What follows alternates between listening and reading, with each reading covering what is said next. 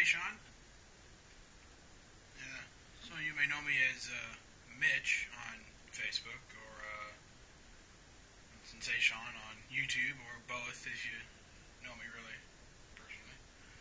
Uh, we're gonna be doing, well, I'm gonna be doing a review, not an unboxing, as I already got, as I already have the locomotive out of the box.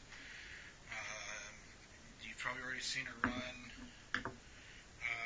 It's going to be the uh, the Broadway Limited Class A locomotive, which I have out of the box already. So this is just the box, literally, and I'm not kidding.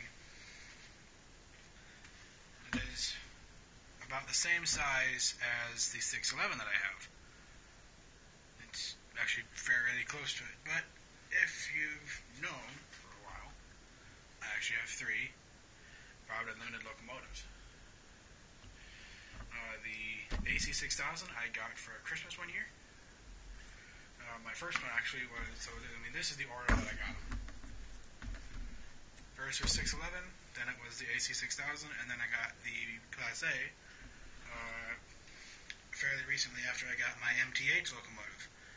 Uh, sadly, uh, I would be doing I would be doing a review of 1988, but unfortunately the uh, the soundboard uh, snapped. I was running it with this with this long with this this big train here. There's quite a few cars on it. Back now. Out of the way for the review. And uh, we'll go ahead and put uh, 1232 on the track, which is the Class A number. Smoke unit's already started up. But I don't run this locomotive with smoke as I'm down in my basement and it would probably set off the smoke alarms.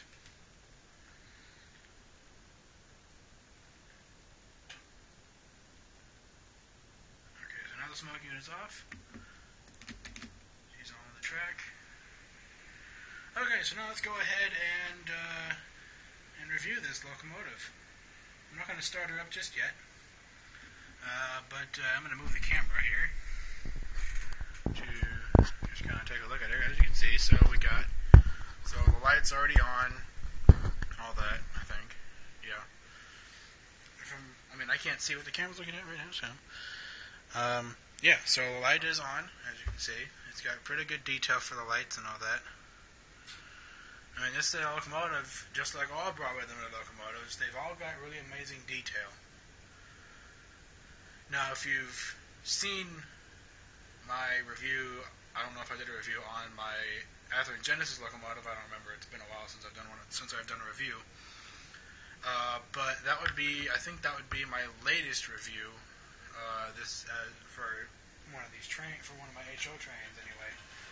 Uh, but we're gonna, but I'm gonna do my best to review this locomotive. Uh, I'd like to give a shout out to uh, what's the name?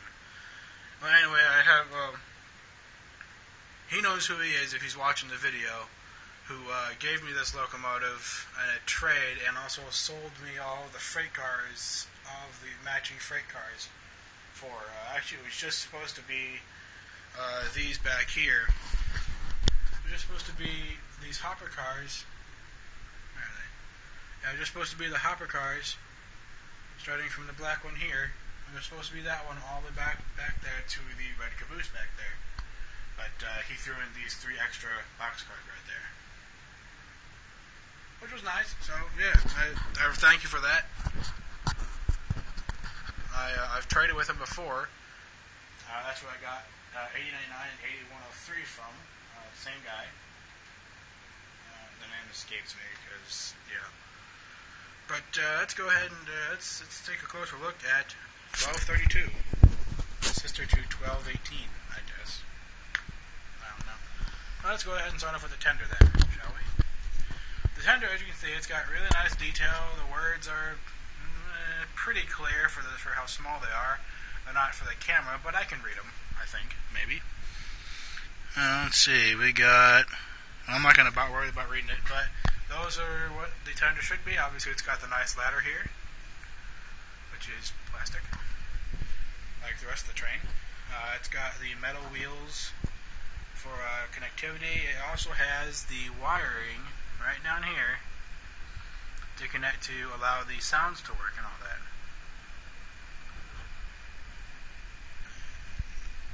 And I've got the little footboard here. It's underneath the tender, uh, only because it actually makes the engine run smoother on my layout for some reason. Uh, so I like it there, and that's where I that's where I keep it. So um, no objection to that. Uh, I'm to be moving on, but that's just that's just where I like the locomotive. That's just where I like that little footboard. It's just right there. You've, you've probably seen it run around the track a few times with it there. You're probably wondering why is it down there. Well, uh, one reason why it's down there is because on this back corner, way over there, it, the the cab gets so far away from the tender that it just kind of flaps down and is like that for the rest of the layout. So I'd have to keep stopping it and moving it back up, uh, or and take it and take the locomotive off and bend it and, and bend it in that way to where I can get it back up on there. But it won't stay up there for the whole layout. So I'd rather just keep it right there and not have to worry about it. Anyway, moving on. We've got the roof flaps, which are a nice add-on. We actually have also two. We've got the fireman and uh, engineer in the cab, which is nice. And we have there is, there is crew talk on the locomotive. There is automatic crew talk, and uh, it at certain speed steps and all that. It does come with smoke, uh, but I do not have it running with smoke, uh, only because I am in my basement, as you can see.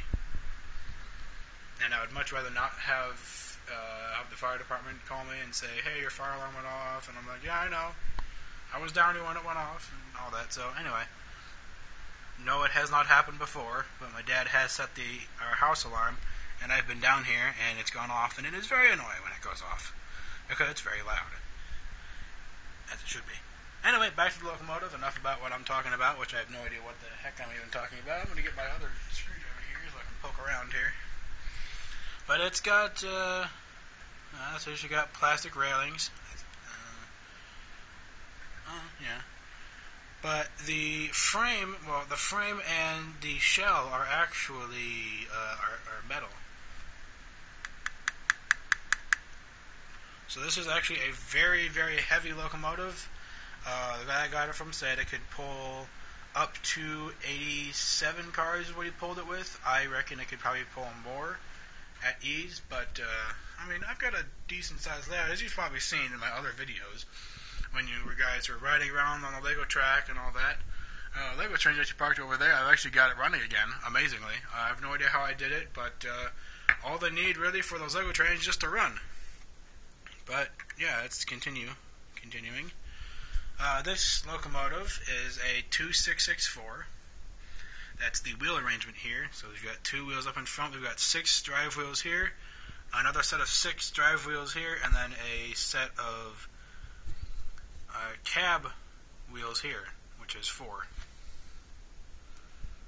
And then if you counted the tender, it'd be a six. It'd be a six six, I guess.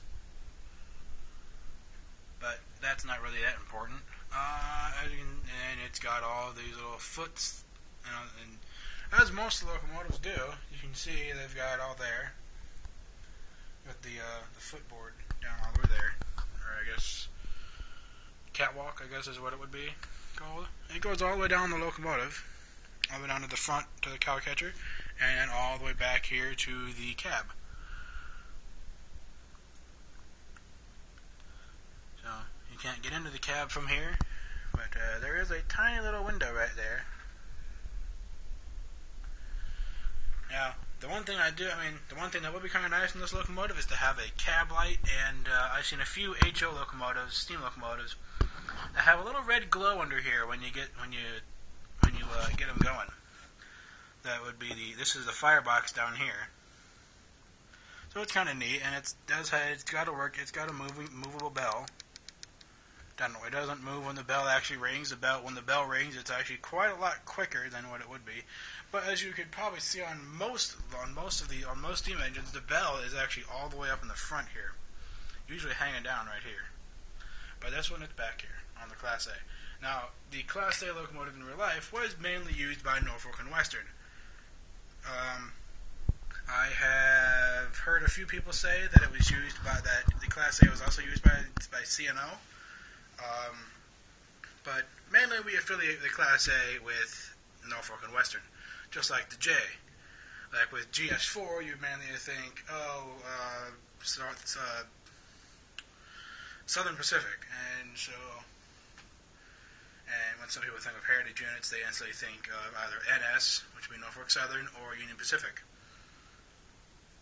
And uh, let's see what else. Oh yeah, uh, this locomotive has a metal coupler on it. Um, I will go more into detail about the metal couplers about the about 1988 when I do that review. Uh, she's actually at the shop. She's actually not. I don't have her at all. I mean, she'd be sitting right here. This is where she would be. But as you can see, I do not have the box for her, so uh, she is out getting a new soundboard in, uh, in as she is under warranty. So anyway, I'll explain more. Of, I'll explain more of what happened to her in her in in that review. Uh, let's keep going on this one then. Uh, this one's got the just obviously it's got the one light up in front, and then it also has the tender light in the back when you put locomotive into reverse. And I guess I mean I'm not entirely sure why the Class A, why was the Class A's and the Y6Bs that had this. Uh, I guess it was so they don't have to have cabooses in the back. I mean I'm not sure. But um, I think that was mainly just used for the uh, for an extra guy as a uh, so he could look behind the train and make sure the train's all together without so that and then radios don't have to be used as much, but whatever, you know, all the same. So uh, there's really not a whole lot else to talk about. Um, besides the fact that uh, let's go ahead and start her up.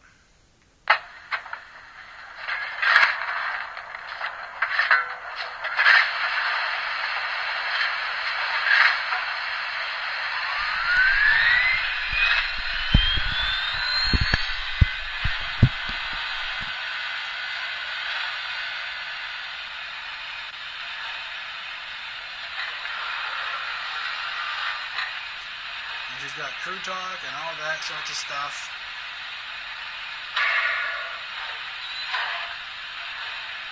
Train number two, clear junction.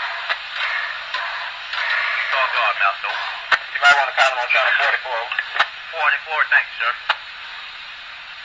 Equipment defect detector. No defects. They're, uh, they're trying to let you know something about that broken rail in the yard there. Over. All right, standing by. Thank you. Correct. Probably gonna be leaving. How uh, how much work have you got? Have you got an EOT on your train? We're all fixed up here and ready to go. Okay, it all depends on whether or not I can get the switch lined up. Uh, call back to your train, the signal comes to you, take it. Right, right.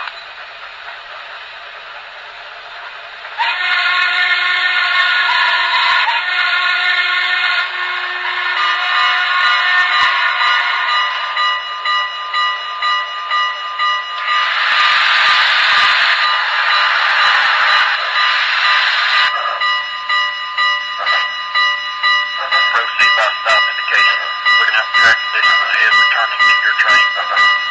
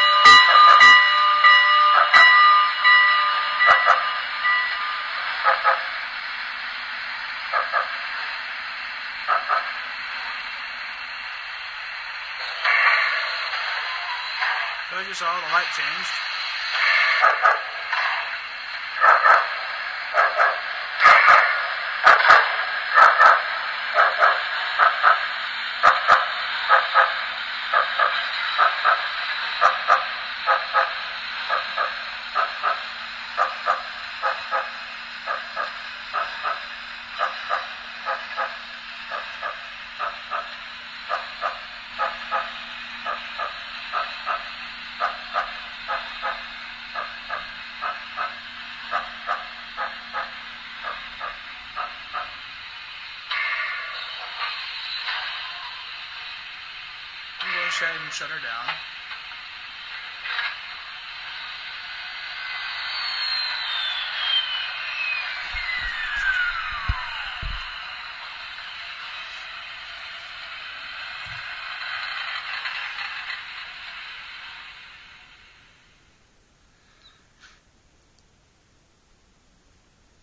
So this is obviously you know it's the Class A, but I've got I think about 24, 26 freight cars hooked up right now. I don't I don't know. I I, I didn't I didn't count them really.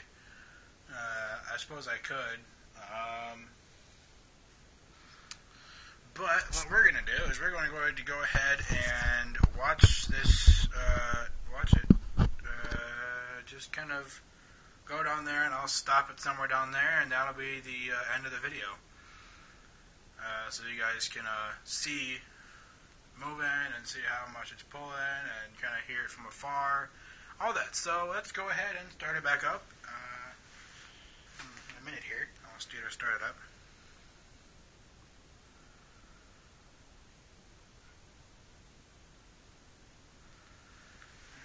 I just had to check something on my on the time.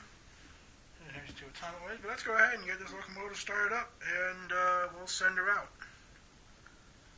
This awesome Class A, number 1232, Norfolk and Western.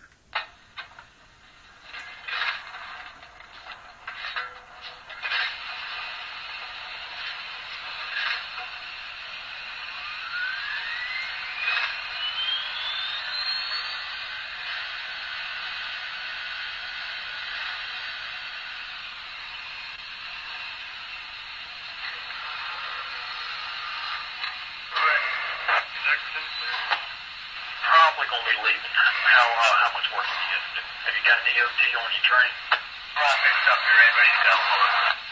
Okay, it all depends on whether or not I can get the switch lined up. So uh, call back to your train the signal comes to the station. Right, right.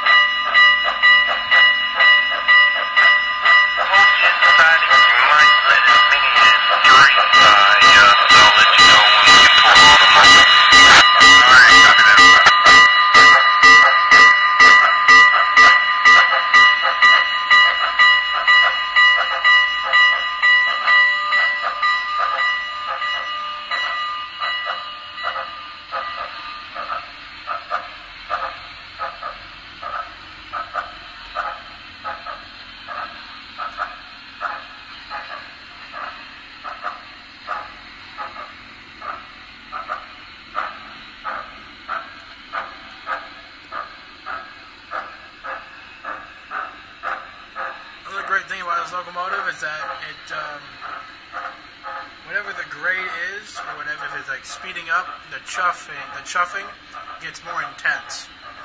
And uh, if it's going downhill, it'll get it'll get kind of quieter. Or if it's just kind of going at a constant speed, it'll be constant constant sound, like constant chuff.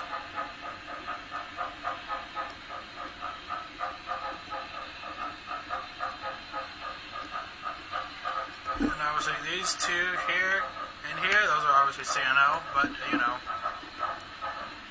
the same kind of style, so they work.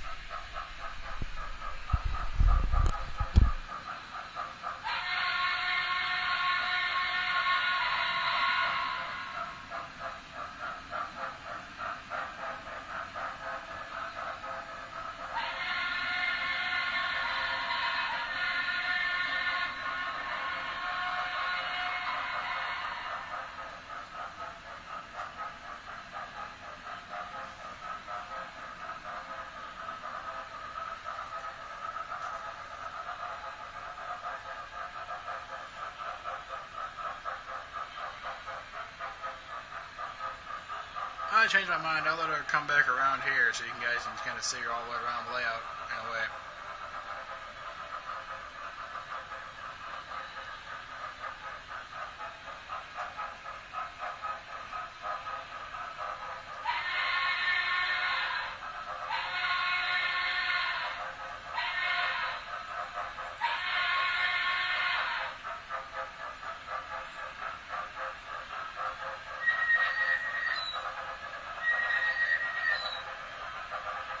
she's braking so that she's kind of stays at that line at a certain speed.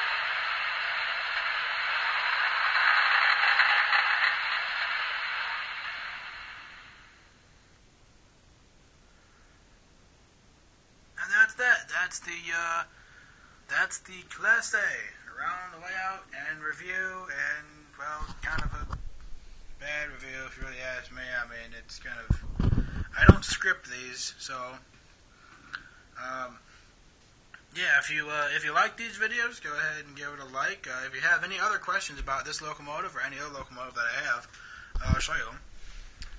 I've got these are these are these two are Athearn RTR, uh, I think. well, one came in a blue box, but you know. Uh, the AC6000, that's a Broadway Limited. The big boy is a Rivarossi. The Challenger, which here is a Rivarossi. The GS4, number 4449, that's a Bachmann. The 611 uh, Class J uh, is a uh, or J class locomotive. Yeah, class J J class. I don't know. Anyway, uh, yeah, Class J. That's a Broadway Limited. Uh, the little 260 I have here, that's a roundhouse model. Uh, these two don't really matter. Uh, and then obviously my Southern Pacific uh, Alcos, uh, A and B, they're both powered, uh, and they are Athearn RTR as well. And these cars are, uh, well, those are, these are Athearn. And most of the N&W hopper cars you see there, all of them are Roundhouse, and the caboose is Atlas. So, with that, and obviously the Class A is Broadway, Broadway Limited. And with that, this has been SensaSean. Signing off for now. All aboard, guys. See ya.